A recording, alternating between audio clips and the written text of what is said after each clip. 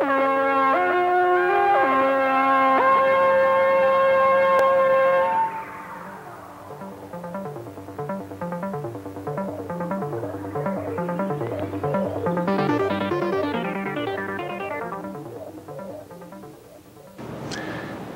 I'm Jim Burnett of NASA's Lewis Research Center in Cleveland, Ohio. It is our great pleasure to bring to you a 13-part series on the history of man's space travel. We hope you enjoy these programs.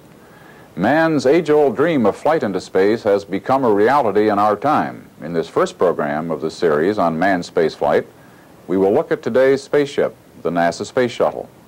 Later, we will tune in on a discussion between the director of Lewis, Dr. John F. McCarthy Jr., and Dr. Walter T. Olson of the Lewis Senior Staff. In the following 12 programs in this series, we will trace the history of flight into space from research and suborbital flights to man's landing on the moon. Now, let's see Space Shuttle Overview, May 1980. This is Saturn V, the rocket that took us to the moon. One of the biggest, most powerful precision machines ever conceived and built.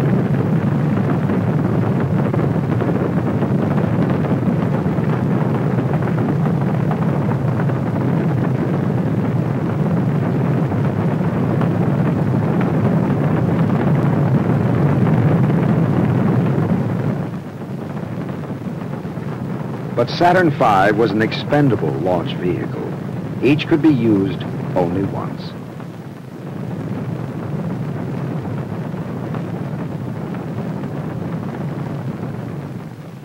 With our nation and the free world increasingly reliant on space technology, the need to reduce costs, increase productivity, and expand our capabilities in space has become a major challenge. Recognizing the growing role space is playing in business, science, and defense, there is increasing international competition for the space dollar. In Japan and other foreign countries, launching systems are under development.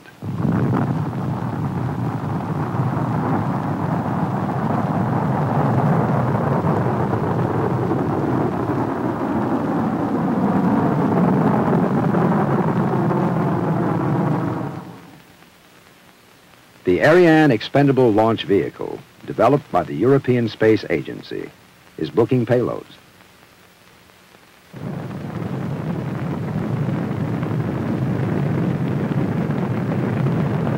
And these systems all feature an expensive throwaway launch vehicle. But continued use of expendable launch vehicles is a luxury we can no longer afford. The United States has achieved and maintained the leadership in space. Our continuing presence in space is essential to our economy, to science, and to our national security. America's reusable space shuttle offers the most cost-competitive and versatile transportation system for the routine access to and the exploitation of space. Opening the space environment to many new users, it is a vital factor in maintaining our technological superiority in this competitive world. To compare costs in today's dollars, it takes an average of $22 million to put a satellite into orbit with a Delta expendable launch vehicle. The cost of orbiting that same satellite in the space shuttle will be around $10 million in a shared flight. This is a major step in reducing the cost per payload of spaceflight. The Space Shuttle is the keystone of the United States Space Transportation System. A fleet of four shuttles is planned, each designed to fly at least 100 Earth orbital missions. The shuttle consists of three major components. First, the orbiter, most simply described as a space-going cargo vehicle, at home in the vacuum of space or in the atmosphere of Earth. It will carry a flight crew of from two to seven men and women. In its 60-foot long, 15-foot diameter payload bay, it will eventually carry cargo weighing up to 65,000 pounds. Second, the external tank, holding over one and a half million pounds of liquid propellant to supply the orbiter's main engines. The third major component, twin solid rocket boosters, which produce a combined thrust of over 5 million pounds for liftoff.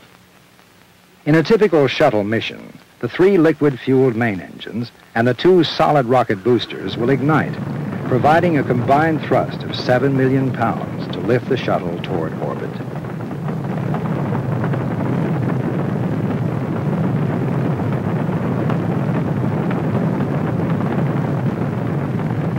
Two minutes later, the solid boosters will burn out, separate from the external tank, then parachute to a water landing and recovery in the Atlantic Ocean. The boosters will be refurbished and returned to service on a continuing basis. The orbiter's main engines, fed by the external tank, will burn for approximately six more minutes. Shortly before achieving orbit, the main engines will shut down and the external tank will be jettisoned. This empty metal shell will not be recovered but will fall harmlessly into a remote ocean area. The orbiter will continue into orbit, powered by the engines of its orbital maneuvering system, which are fed with liquid propellant from onboard tanks. The orbit can be varied from 115 to 350 miles in altitude, depending on individual mission requirements. In orbit, many types of missions can be performed. Up to four satellites can be deployed on a single flight. Satellites can be repaired in orbit, refurbished or retrieved, and returned to Earth.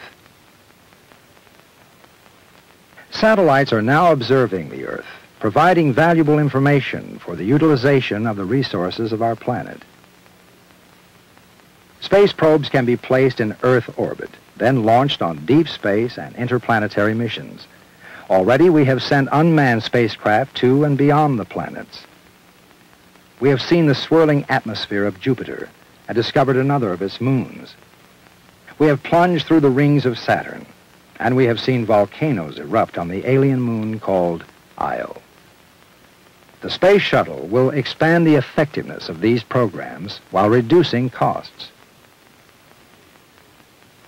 In its payload bay, the orbiter can carry Spacelab, a modular manned scientific laboratory designed and built by the European Space Agency for use by the international scientific and industrial communities.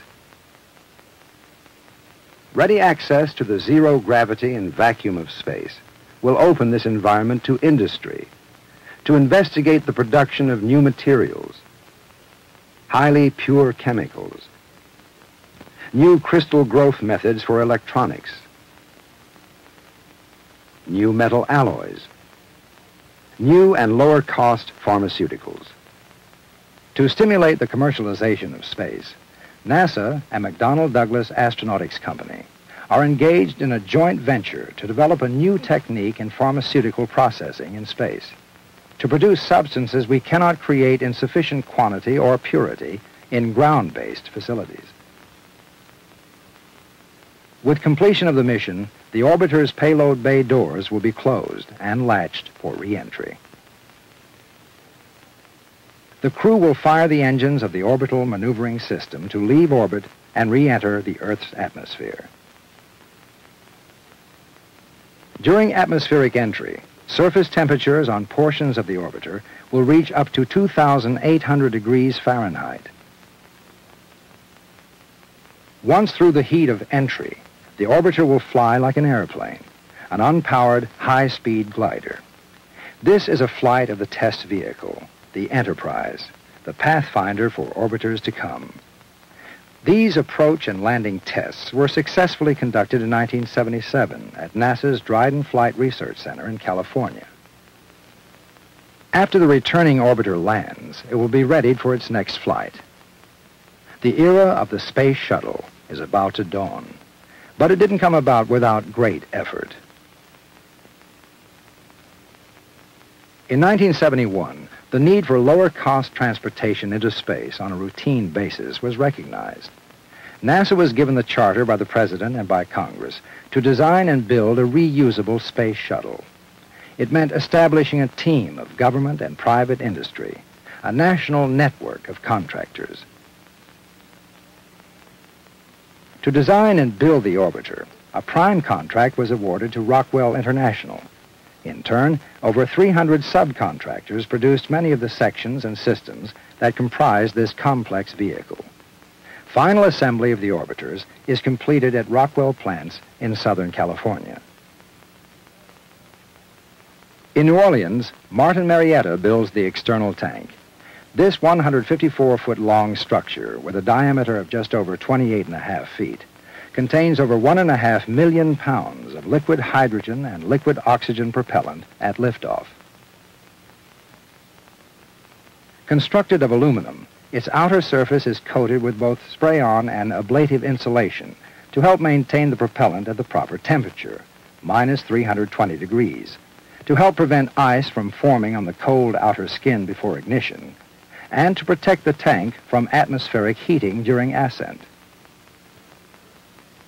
The external tank for the first shuttle orbital flight test was delivered to the Kennedy Space Center in Florida on July 6, 1979. Thiokol Corporation in Utah is responsible for development of the solid rocket boosters, the largest solid propellant rockets ever built. Each is just under 150 feet long and over 12 feet in diameter. Constructed of weld-free, high-strength steel. Each rocket motor generates 2,650,000 pounds of thrust at sea level. Although this will be the first application of a solid propellant rocket as a primary launch vehicle for United States manned spaceflight, the technology is well developed and understood. The boosters for the first flight test have been delivered. They were received at the Kennedy Space Center in September 1979. To build the solid rocket boosters alone, contracts were let to 64 companies in 20 states, and this is just one of the three major shuttle components. In all, building the shuttle requires 50,000 people working for hundreds of contractors in 47 states. The space shuttle is a major development in high technology. Two specific areas have produced the greatest challenge, pushing ahead the state of the art. Two areas that have proved to be the pacing items for the first orbital flight test of the shuttle. Because of significant problems in these areas, major delays have occurred in the shuttle program. First is the development of the orbiter's main rocket engines. For their size, these liquid propellant engines are the most powerful ever built, producing 375,000 pounds of thrust at liftoff. This much thrust is generated by achieving an extremely high chamber pressure, 3,000 pounds per square inch, a major step forward in rocket technology. Besides containing such high pressures, the engines are lightweight and capable of being throttled down to 65% of thrust to control G-loadings on the shuttle during ascent. And they have been designed to perform at least 55 flights with minimum maintenance, another goal never before achieved in rocket engine design. Development of these new engines is the responsibility of the Marshall Space Flight Center in Alabama. To date, well over 500 tests have been run. While problems encountered were not totally unexpected in such a complex high-technology project, some did lead to program delays. When the flight configuration of three engines was run, some failures occurred which resulted in major slips in the schedule. One by one, the problems have been isolated and eliminated. Most were associated with the tremendous pressures and vibration levels which are developed.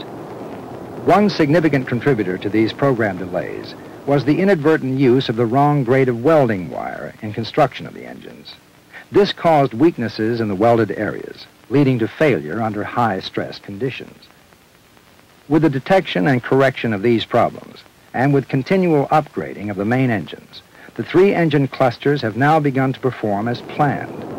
Four successful firings, simulating the length and conditions of launch, at 100% of their rated thrust have been conducted without incident. More than 70,000 seconds of the 80,000 seconds required firing times for flight readiness have been accomplished.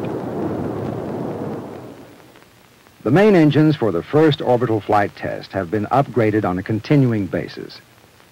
Previously stored at the Kennedy Space Center, they have been returned to the test stands in Mississippi for requalification prior to the flight. Another critical area of development which has contributed to program delays is the shuttle's unique thermal protection system. This is presently the pacing item in preparing for the first orbital flight. The thermal protection system is planned to be reusable over 100 flights with minimum maintenance. During reentry, temperatures on the orbiter's surface will range from 400 to 2,800 degrees Fahrenheit. The temperature of the orbiter's aluminum skin must be kept below 350 degrees. Where surface temperatures will range from 2,300 to 2,800 degrees, reinforced carbon-carbon is used. However, this material is heavy and its use must be limited. Where temperatures will not exceed 750 degrees, coated Nomex fabric covers the aluminum. The major problem has been in providing thermal protection in the mid-range, from 750 to 2,300 degrees. A silica fiber material was developed for this purpose. It is a cast material containing about 93% void. It weighs only 9 pounds per cubic foot, about the density of balsa wood. Bonding of the tile to the orbiter has presented a major problem and program delay. It was determined that for attachment to the orbiter, the optimum size of the tiles is about 6 by 6 inches. 30,922 individual tiles are shaped to fit the contours of the orbiter.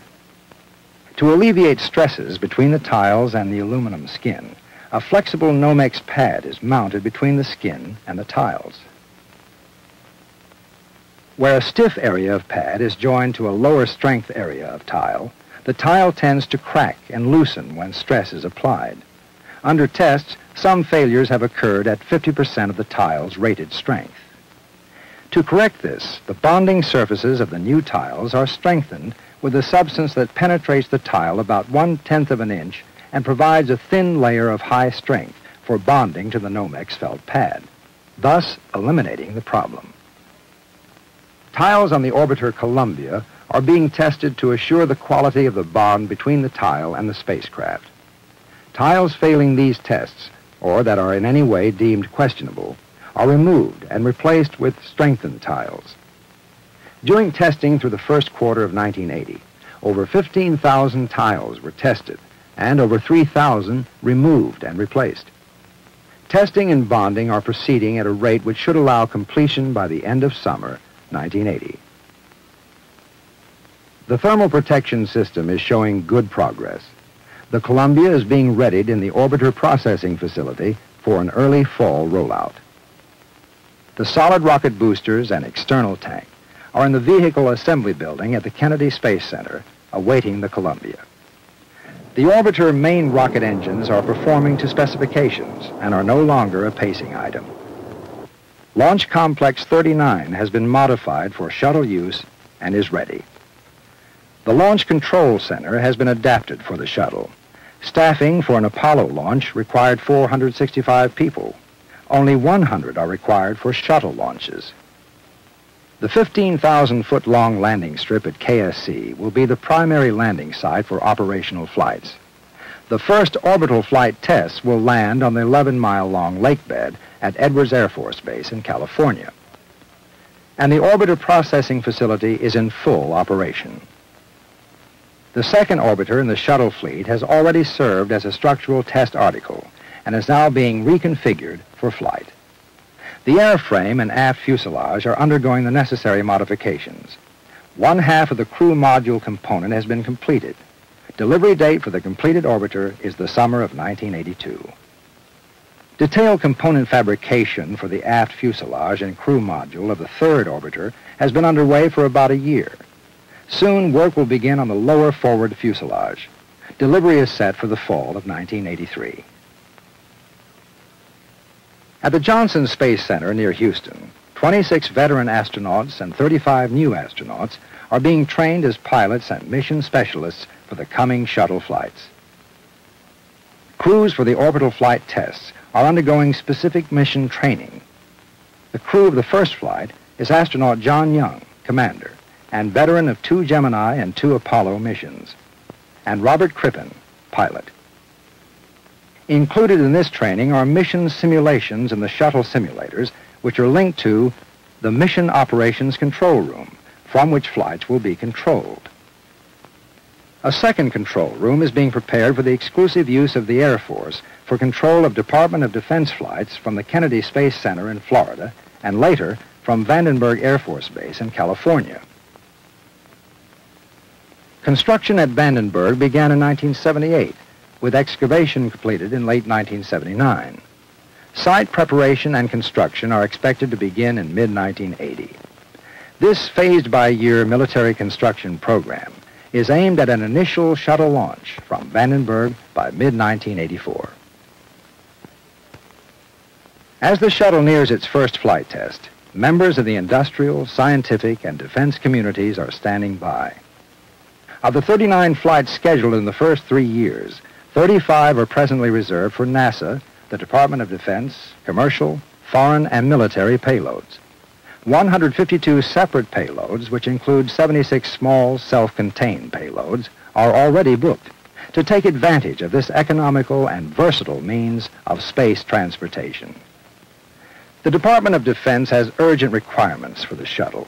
Should the shuttle not be available, the redesign of payloads meant for the 60 by 15 foot payload bay to the lesser capabilities of expendable launch vehicles would be a formidable and expensive task.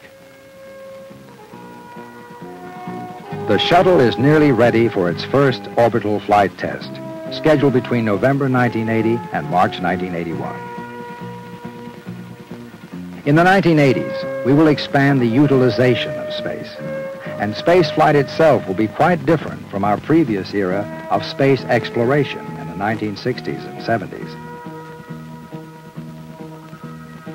We stand at the beginning of a new and practical era in space technology. Spaceflight has become a necessity of modern civilization, essential to our economy, to scientific achievement, and to our national security. The Space Shuttle is the means by which we will maintain the leadership in space that we have achieved over the last two decades. Now we'll join the discussion between Dr. John F. McCarthy and Dr. Walter T. Olson. The idea that the space transportation system, the so-called space shuttle, will open a new era in space flight implies several things. Uh, first of all, more and less costly services, such as we're already used to, communications, weather, Earth observations, navigation. Uh, secondly, perhaps the development of new productive and useful services from space. And thirdly, an opening of the opportunity for continuing space exploration perhaps even with a manned expedition to the moon, such as we have expeditions at Antarctica, or even men to Mars. I'd like to sort out some of these possibilities. Uh, what do you think, Dr. McCarthy, is the first big useful thing we will do with the shuttle? Well, one thing the space shuttle does is lower the cost considerably. The big inhibitor to space uh, exploration now is the high cost. And the space transportation system promises to reduce the cost by a factor of 10 because we don't have to uh, lose uh, very complex, expensive structures each time we have a launch. With this kind of uh, lower cost, we can really exploit space rather than just explore. The thing that I have in mind is uh, large space structures, where we can put up big antennas, for example. Now that's of, uh, big, of interest to the military for tactical warfare and could be very beneficial for space communications. Eventually we may have uh, Mickey Mouse watch that you can communicate with people overseas. Yes, I understand we're trying to get uh, into the higher frequencies that aren't already being used and into lots of power from the satellite so that indeed a little transmitter on your wrist can do the trick. Those are some of the uh, those are extensions of things we're already doing in space. And do you see new services, new productive uses of the uh, Well, the thing that uh, space offers is uh, a clear view of uh, the universe without the attenuation of the atmosphere. And uh, the first uh, step in this is the Large Space Telescope, which utilizes the visible spectrum to look at uh, outer space. I think that uh, we'll have laboratories in space where we look at other parts of the spectrum like gamma rays and X-rays to try to understand some of the physics of outer space like black holes. We've already been able to see objects in the sky that we never could see before because these gamma rays and uh, X-rays never penetrate our atmosphere. It'd be like trying to see visible light through a desk or a wall. What about man? People are very caught up with the romantic idea of colonizing space and uh, putting bases on the moon or on planets. You see man moving out into space? Well, even with the shuttle, uh, manned exploration of the planets is just too expensive, at least in uh, this century. But I can visualize a base on the moon, especially if the moon offers uh, raw materials that we don't have here on Earth in abundant quantities. So possibly we could uh, actually get materials from the moon and do manufacturing on the moon or in space to exploit that possibility. Well, some of those materials might be useful to make the propellants to get the people back from the moon, too. What about manufacturing new things, pharmaceuticals or, uh, or, crystals or other materials? Well, the thing that space offers is uh, an environment that's unique. Uh, very hard vacuum, zero gravity, and we've already seen uh, crystals grown in space that look very promising. Uh, one of the first phases of uh, the space shuttle program is to look at various ideas about uh, manufacturing in space and how space could help us to do things that we can't do here on Earth. Well, I think that's a pretty good view of it all. Certainly low cost for the things we have already found to be extremely important, especially communications. And then uh, maybe some new services, but certainly uh, an enhancement of our scientific capabilities beyond the atmosphere. We'll exploit space rather than just explore it. Well, that's about all the time we have. Thanks a lot. Thank you, Dr. McCarthy and Dr. Olson. And so ends our first program. Next time, we'll go back to the beginning of the space program to start our review of the history of space travel. Until then, this is Jim Burnett saying goodbye from NASA's Lewis Research Center in Cleveland, Ohio.